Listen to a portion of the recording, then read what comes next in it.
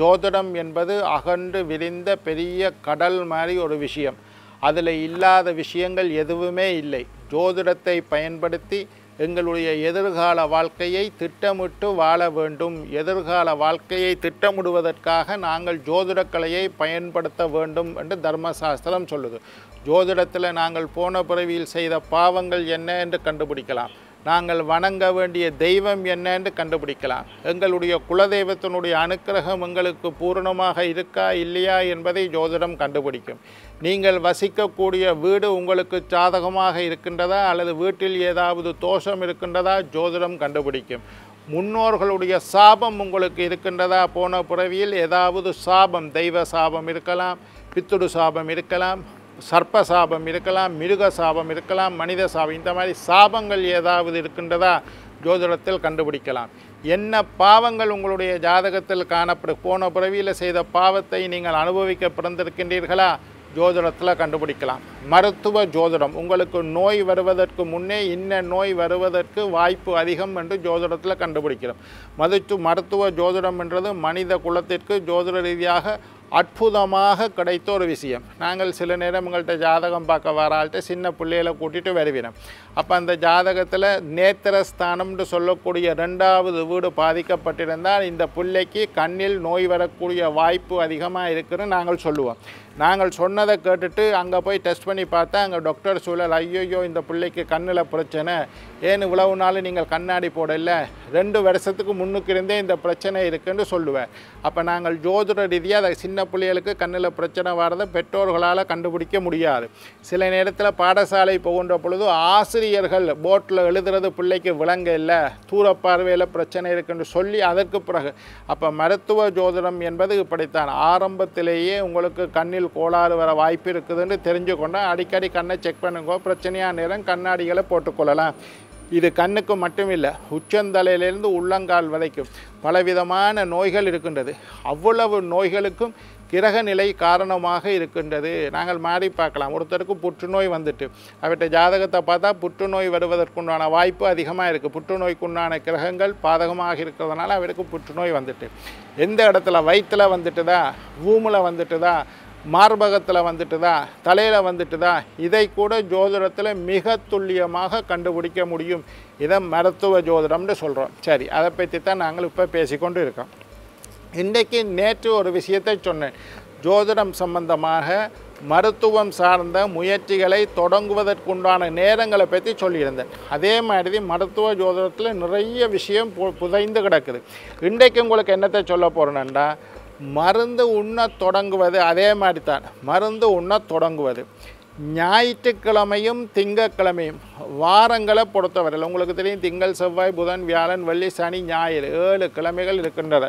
இந்த ஏழு கிழமையிலையும் ஞாயிற்றுக்கிழமை திங்கக்கிழமை இந்த இரண்டு கிழமைகளும் மருந்து உண்ண அற்புதமான நாள். நீங்கள் டாக்டர்கிட்ட போய் என்ன கிழமையில் மருந்து எடுத்துகிட்டு வந்தாலும் முதல் முதல் அந்த காய்ச்சலாக இருக்கலாம் வயிற்றோட்டமாக இருக்கலாம் சளியாக இருக்கலாம் முதுகு வலியாக இருக்கலாம் ஏதோ ஒரு நோய்க்கு போய் டாக்டர்கிட்ட மருந்து எடுத்துட்டீங்களா இருந்தால் ஞாயிறு திங்கக்கிழமை அந்த மருந்து மாத்திரை அதை உண்ணுவதற்கு தொடங்கினால் மருந்து குடிக்க தொடங்கினால் உங்களுடைய நோய் விரைவாக குணமடையும்.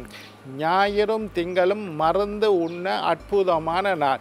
ஏழு கிழமையில ரெண்டு கிழமையை சொல்லியிருக்கேன். இந்த நேரத்தில் மருந்து உண்ண மட்டும் இல்லை மருத்துவரை சந்திப்பதற்கு உகந்த நாள் மருத்துவ பரிசோதனை செய்வதற்கு உகந்த நாள் அல்லது சத்திர சிகிச்சை செய்வதற்கு உகந்த நாள்.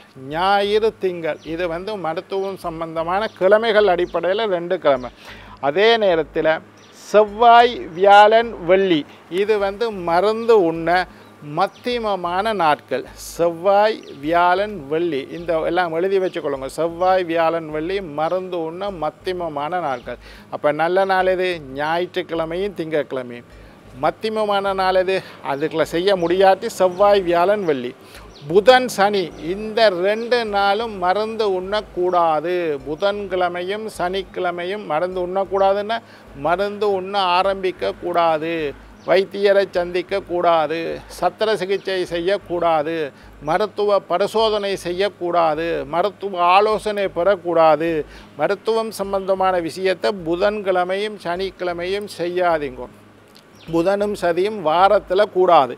செவ்வாய் வியாழன் வெள்ளி ஓரளவு பரவாயில்லை. ஞாயிறு திங்கள் இதுதான் பெஸ்ட்டான நாள். இதை குறித்து வச்சுக்கொள்ளுங்க.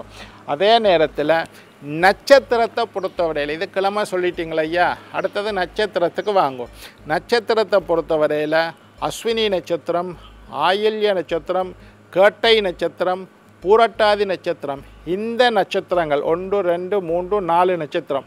அஸ்வினி ஆயில்யம் கேட்டை பூரட்டாதி எழுதி வச்சுக்கொள்ளுங்க. இந்த நான்கு நட்சத்திரமும் மருந்து உண்ணுவதற்கு மிகச்சிறந்த நட்சத்திரங்கள். மருந்து உண்ண தொடங்குறதா இருக்கலாம் வைத்தியர்கிட்ட காட்டுறதா இருக்கலாம் சத்திர சிகிச்சை செய்கிறதா இருக்கலாம் மருத்துவ பரிசோதனை செய்கிற என்னென்றாலும் இந்த நட்சத்திரங்கள். அஸ்வினி இன்னொரு சொல்ல எழுதி வச்சுக்கொள்ளுங்க. அஸ்வினி நட்சத்திரம் ஆயுள்ய நட்சத்திரம் கேட்டை நட்சத்திரம் பூரட்டாதி நட்சத்திரம். இந்த நட்சத்திரங்கள் மருந்து உண்ணுவதற்கு பெஸ்ட் நல்ல நாட்கள். அதே மாதிரி திதிகள் இருக்குது ஐயா. என்ன திதியில் திதி என்ன உங்களுக்கு தெரியும்? சதுர்த்தி இருக்குது பிரதமை இருக்குது அமாவாசை பௌர்ணமி. திதிகளில் எது நல்லம்னு பார்த்தா துதியை துதியைன்றது ரெண்டாவது. பிரதமைக்கு அடுத்தது துதியை ரெண்டாவது திதி துதியை. சதுர்த்தி அந்த திதியும் நல்லது. பஞ்சமி மருந்து உண்ண நல்லது. சப்தமி மருந்து உள்ள நல்லது. தசமி மருந்து உண்ண நல்லது. திதிகளை பற்றி சொல்கிறேன் இன்னொருக்கா சொல்கிறேன் துதியை ரெண்டாவது பிரதமைக்கு அடுத்ததாக வரக்கூடிய துதியை சதுர்த்தி சதுர்த்தி வந்து உங்களுக்கு நல்லா தெரியும். ஆவணி இந்த ஆவணி சதுர்த்தி சரி சங்கடகர சதுர்த்தி வளர்புறது விநாயகருக்கு உண்டான நாள். ஸ் பஞ்சமி பஞ்சமி பஞ்சமி திதி வந்து மருந்து உண்ணதுக்கு மிகச்சில பஞ்சமி திதி இருந்தால் அன்றைக்கு தொடங்கினீங்கன்னா உங்களுக்கு வியாதி சீக்கிரமாக மாறும். சப்தமி அட்டமி நவமிக்கு முதல் வர சப்தமிக்கு பிறகு அட்டமி நவமி வரும். அப்போ சப்தமி திதியும் மருந்து உண்ண நல்லது. தசமி சப்தமிக்கு பிறகு அட்டமி வரும் நவமி வரும் அது ரெண்டும் கூடாது. தசமி திதி ரொம்ப உத்தமம். இப்போ இன்னொரு கா துதியை சதுர்த்தி பஞ்சமி சப்தமி தசமி இந்த திதிகள் வந்து மருந்து உண்ணுவதற்கு மிகச்சிறந்த நாட்கள். சரி. அடுத்தது யோகங்களை பற்றி பார்த்தோமா இருந்தால் இதெல்லாம் நீங்கள் உங்களோட வீட்டில் உள்ள கலண்டரை எடுத்தீங்கன்னா இதில் எல்லாம் இருக்குது எத்தனை மணியிலேருந்து எத்தனை மணி மட்டும் என்ன திதி நிற்கிது நான் சொன்ன திதிகள் இருந்தால் மருந்துண்ண தொடங்குங்கள். நான் சொன்ன திதி இல்லையா? அந்த திதியை மட்டும் கொஞ்சம் வெயிட் பண்ணி. இதெல்லாம் அவசரமாயிட்டையா அடிபட்டுட்டுது ஆக்சிடெண்ட் ஆயிட்டுது கையால் ரத்தம் ஓடுது கால் உடைஞ்சு போச்சு. இப்போ இந்த கதையெல்லாம் நீங்கள் பார்க்கக்கூடாது. அவசர சிகிச்சைக்கு இதெல்லாம் இல்லை நீங்கள் சாதாரணமாக சிகிச்சை செய்வதாக இருந்தால் உங்களுடைய ஆரோக்கியத்துக்கு மருத்துவம் செய்வதாக இருந்தால் தான் இதுகளை கடைப்பிடிக்கணுமே தவிர அவசர காலத்திற்கு இதுகளை பார்க்கக்கூடாது.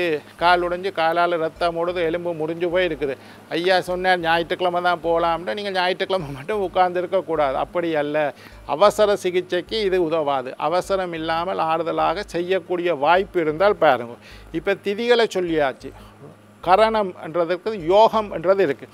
இப்போ யோகத்தை பொறுத்தவரையில் அமிர்த யோகமும் சித்த யோகமும் மருந்துண்ண சுபம் கலண்டர் எடுத்து பாருங்க. இன்றைக்கு அமிர்த யோகம் என்று எழுதியிருந்தால் செய்ய மரண யோகம் என்று எழுதியிருந்தால் அன்றைக்கு செய்யக்கூடாது. மரண யோகத்தில் மருந்து உண்ண தொடங்கினால் உங்களுடைய நோய் மாறாது. மருந்துக்கு நோய் கட்டுப்படாது.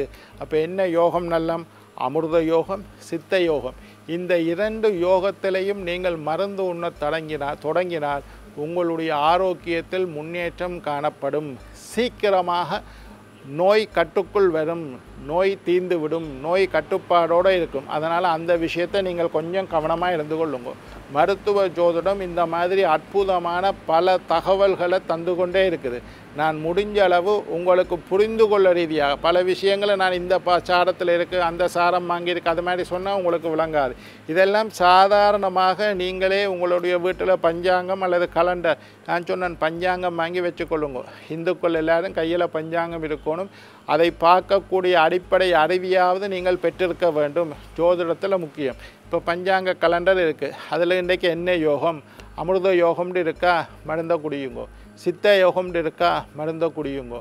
மரண யோகம்னு இருக்கா? அந்த மரண யோகம் எத்தனை மணிக்கு முடியும்னு பஞ்சாங்கத்தில் இருக்குது அது முடியும் மட்டும் பொறுமையாக இருந்தால். முடிஞ்சதுக்கு பிறகு அந்த மருந்து மாத்திரைகளை நீங்கள் உண்ணத் தொடங்கலாம். அதே நேரத்தில் மருந்து குடிக்க முன்னுக்கும் நான் சொல்லியிருக்கேன். மருந்தை கையில் வச்சுக்கொள்ளுங்கோ. தன்வந்தரியோட மந்திரத்தை நீங்கள் சொல்லலாம். தன்வந்திரியினுடைய மந்திரத்தை அல்லது திரியம்பகம் கஜாமகே என்று சிவன்ட மந்திரத்தை சொல்லிட்டு இந்த என்னுடைய நோய்க்காக இந்த மருந்தை இந்த ஔஷதம் என்று சொல்கிறது மருந்து மருந்தை குடிக்கிறேன் என்னுடைய நோய் நீங்க வேண்டும் என்று பிரார்த்தனை செஞ்சுட்டு அதுக்கு பிறகு வாயில் போட்டு தண்ணியை ஊற்றினீங்களா இருந்தால் எந்த பிரச்சனையும் இல்லை உங்களுடைய நோய் விரைவாக மாறும். என்ன செய்தாலும் உங்களுடைய எண்ணங்கள் சரியாக இருக்க வேண்டும். சிந்தனைகள் சரியாக இருக்க வேண்டும். இது என்னத்தை ஏதோ குடிக்கிறேன் இது மாறுதோ இல்லையோ டாக்டர் தந்தார் குடிக்கிறேன் அப்படி நினச்சி குடிக்கக்கூடாது எப்பவும் எதிர்மறையான எண்ணங்களை விட்டுட்டு நேர்மறையான எண்ணங்களோட மருந்தை கையில் வச்சுக்கொள்ளுங்க. ஓம் நமோ பகவதே. வாசுதேவாய தன்வந்திரையே. அமிர்தகலசகஸ்தாய சர்வாமய விநாசனாய. திரைலோக்கியநாதாய மகாவிஷ்ணவே நமகான்னு தன்வந்தி மந்திரத்தை சொல்லிவிட்டு வாயில் மருந்தை போட்டு தண்ணியை ஊற்றினீங்களா இருந்தால் அந்த மருந்து செரிமானமடைந்து உங்களுடைய நோயிலிருந்து உங்களை காப்பாற்றும். அதனால் மருத்துவ ஜோதிட பகையில் இந்த மாதிரி பல விஷயங்கள் சொல்லப்பட்டு கொண்டு இருக்குது. இந்த விஷயங்கள் எல்லாம் முடிந்த உங்களுக்கு விளங்கக்கூடிய விஷயங்களை நான் சொல்லித்தரேன். இதை எல்லாவற்றையும் பயன்படுத்தி நீங்கள் நீண்ட ஆயுள் நிறைந்த ஆரோக்கியம் நீங்காத செல்வத்தோட வாழ வேண்டும் என்று வாழ்த்தி வணங்கி விடைபெறுவது உங்கள் ஜோதிட சித்தர் டாக்டர் ராஜராஜ குருக்கள்.